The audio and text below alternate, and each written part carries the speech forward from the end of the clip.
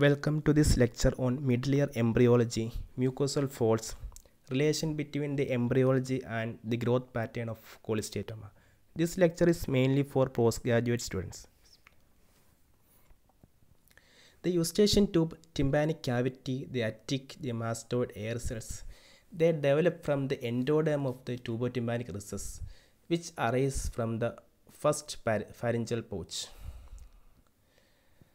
So the whole of the middle ear cleft, that is the uh, eustachian tube, the middle ear adytus, the mastoid antrum, develops from the tubotympanic recess. The proximal part of the tubotympanic recess forms the eustachian tube, while the distal part of the tubotympanic recess forms the middle ear and the mastoid air cells. The terminal end of the tubotympanic recess buds into four saci, saccus anticus, saccus medius, saccus superior, and saccus posticus. So these saci expand progressively to replace the middle ear mesenchyme and the mastoid mesenchyme. The walls of the expanding saci envelop the ossicular chain and line the walls of the middle ear cavity. The interface between these two between the two saci give, give rise to several mesentery like mucosal folds which transmit the blood vessels and ligaments to the ear contents. So there are 10 mucosal folds that is the anterior tympanomalleal fold, the posterior tympanomalleal fold, the anterior malleal ligamental fold, the lateral malleal ligamental fold, superior malleal fold, the lateral incudo-malleal fold, me- medial incudal fold, superior incudal fold, posterior incudal fold, and the tensor tympani fold. Now this is the pars tensa and this is the pars flaccida. So when we remove the pars tensa and pars flaccida, here we can see the mucosal folds. Now this is the anterior part, this is the posterior part, and this is the handle of the malleus. We can see a fold here between the handle of the malleus and the anterior tympanic spine. This fold is called the anterior tympanomalleal fold. Similarly, we can see a fold between the handle of malleus and the posterior tympanic spine, and this fold is called the posterior tympanomalleal fold. Now, between the pars tensa and the anterior tympanomalleal fold, there is a potential space. This space is called the anterior pouch of von Tröltsch. Similarly, between the pars tensa and the posterior malleal fold, posterior tympanomalleal fold, there is a potential space called the posterior pouch of the von Tröltsch.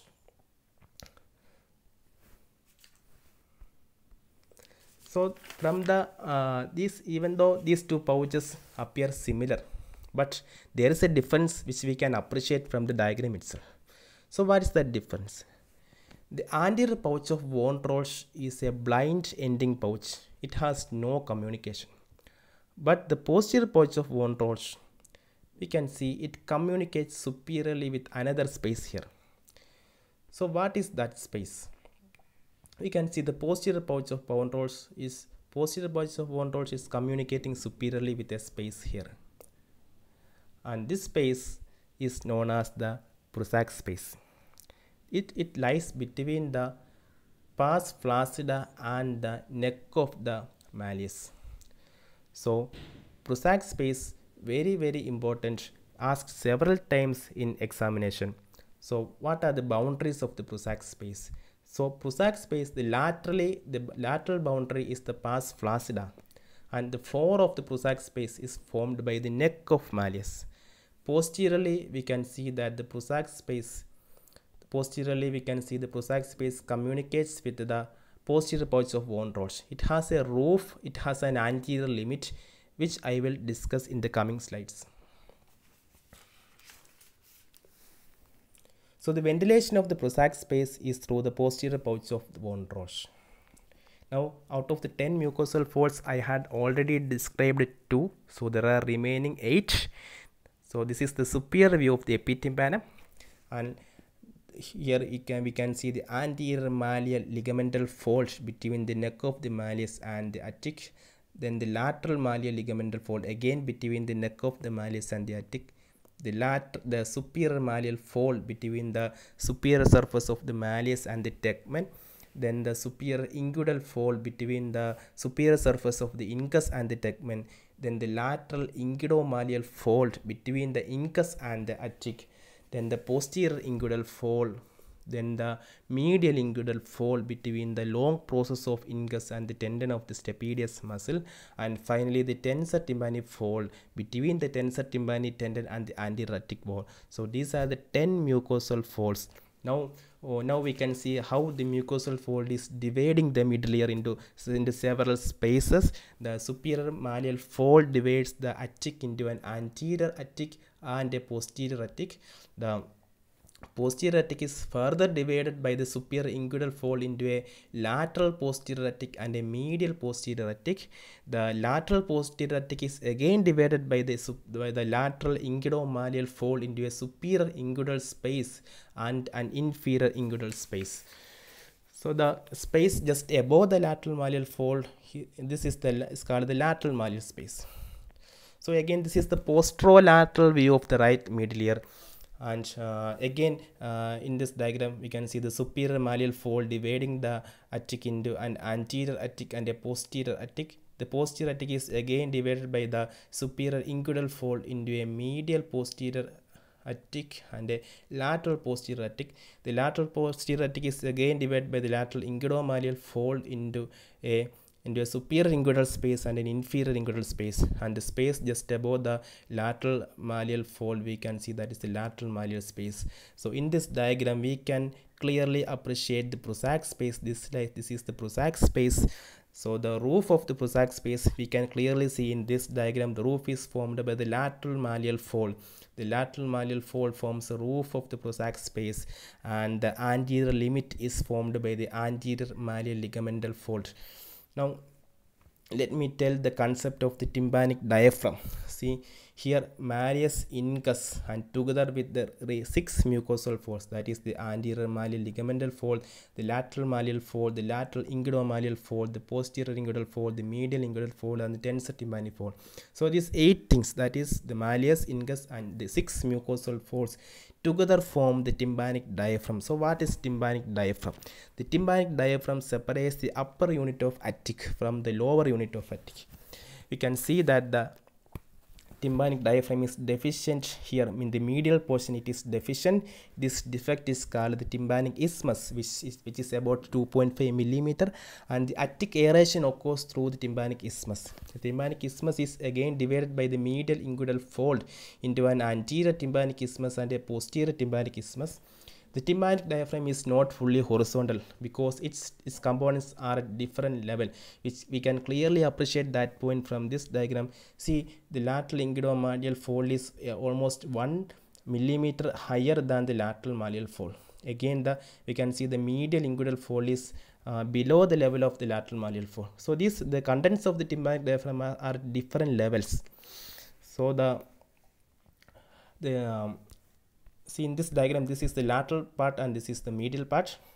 If we draw an imaginary line this line uh, which goes through the which passing passing through the uh, lateral process of the malleus like this the part above this line forms the attic or the epitympanic and if uh, the position of the tympanic diaphragm is here we can see this line represents the position of the tympanic diaphragm. So in this diagram we can clearly appreciate that the tympanic diaphragm is dividing the attic into an upper unit and a lower unit.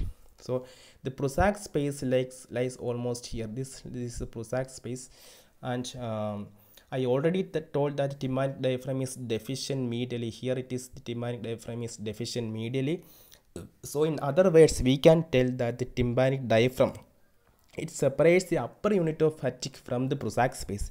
Prussak space is also known as the lower unit of attic so again this diagram uh, this is the diagram after removing the mucosal folds. The Prussak space like oh, likes lies almost here in this portion uh, in be inferior to the that is uh, just below the tympanic diaphragm and here I already uh, had so shown the lateral malleal fold lies here. So the lateral malleal fold is the roof of the Prussak space. And this is the, here we, uh, uh, there is the anterior malleal ligamental fold lies here. So the anterior malleal ligamental fold forms the anterior limit of the Prussak space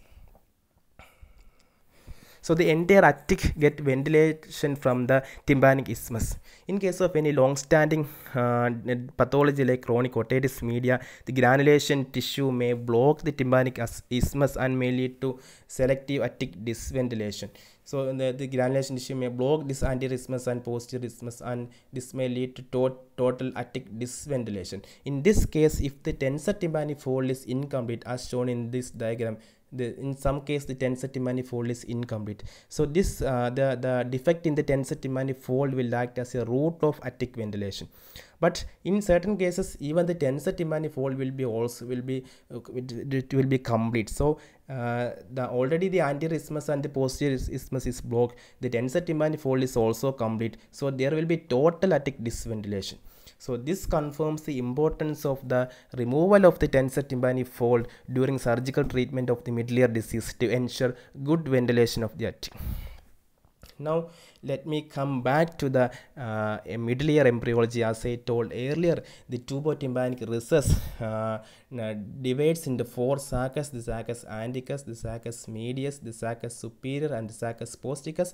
From the saccus anticus develops the anterior pouch of von Tröltsch and the anterior epitympanum from the uh, the saccus medius is again divided into anterior saccule medial saccule and posterior saccule so from the saccus from the anterior saccule of the saccus medius uh, the anterior epitympanic recess develops from the medial saccule of the saccus medius the superior incudal space and the Prussak space develop and from the posterior saccule of the saccus medius the adytus develops and from the saccus superior develops the inferior incudal space and the posterior pouch of von Tröltsch and the hypotympanum and the retrotympanum develops from the saccus posticus. So if you if you if you can remember this chart well and good otherwise let me tell you a mnemonic draw a table like this and just mark a a for saccus anticus m for saccus medius S for saccus superior and P for saccus posticus.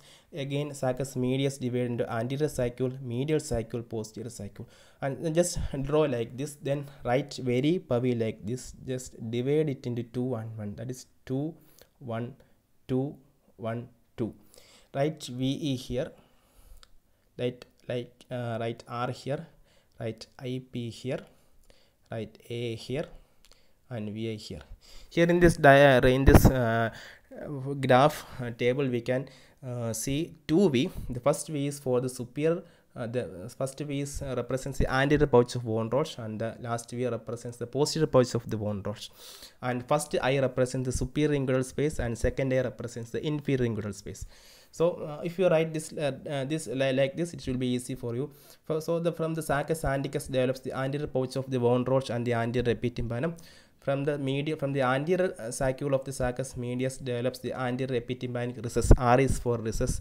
From the medial saccule of the Saccus medius develops the superior incudal space and the Prussak space. From the posterior saccule of the Saccus medius develops the adytus and from the Saccus superior it develops the posterior pouch of von Tröltsch and the inferior incudal space. So I already told from the Saccus posticus develops the hypotympanum and retrotympanum which I have not included in this mnemonic. Now let me discuss the growth pattern of attic cholesteatoma. There are three tracks described for the growth pattern of attic cholesteatoma. See, uh, the, the cholesteatoma from the Prussak space, the one pathway is through the posterior pouch of von Tröltsch. It it may extend to the to the inferior incudal space. That is it is extending to the posterior mesotympanum to become a posterior mesotympanic cholesteatoma so this tract is through the posterior pouch of von Tröltsch and inferior incudal space. See uh, we can see that the posterior pouch of von Tröltsch and inferior incudal space develops from the saccus superior. So this pattern is correlates with the embryology of the saccus superior. Now the second pattern that is from the Prussak space cholesteatoma from the Prussak space it is going to the posterior epitympanum via the superior incudal space. That is the cholesteatoma from the Prussak space going to the uh, through the superior incudal space it is reaching to the posterior epitympanum to become a posterior epitympanic cholesteatoma now what is this tract we can see the superior incudal space and Prussak space develops from the medial saccule of the saccus medius. That is this tract correlates with the medial saccule of the saccus medius. Now the third pattern is that the cholesteatoma it, it may from the Prussak space uh, Prussak space it is extending to the anterior epi- via a defect via a defect in the superior malleal fold. That is through a defect in the superior malleal fold this cholesteatoma is entering to the anterior epitympanum and to becoming an anti to become an anterior epitympanic cholesteatoma and this tract correlates with the embryology of the saccus anticus now now again let me repeat this. With another diagram see the the Prussak space like lies almost here. So the anatic cholesteatoma the first pathways it may go inferiorly through the in through the posterior pouch of von Tröltsch uh, through the inferior incudal space it reaches the posterior mesotympanum this pathway correlate with that of the saccus superius the second pathway is through the superior through the Prussak space uh, it reaches the superior incudal space and becoming a posterior epitympanic cholesteatoma which correlates this tract correlate with the the medial cycle of the saccus medius. And the third pathway is that uh, through a defect in the superior malleal fold this cholesteatoma is uh, entering into the anterior epitympanum and this tract correlates with the saccus anticus. So this is the relation between the embryology and growth pattern of cholesteatoma so uh, thank you for your patient hearing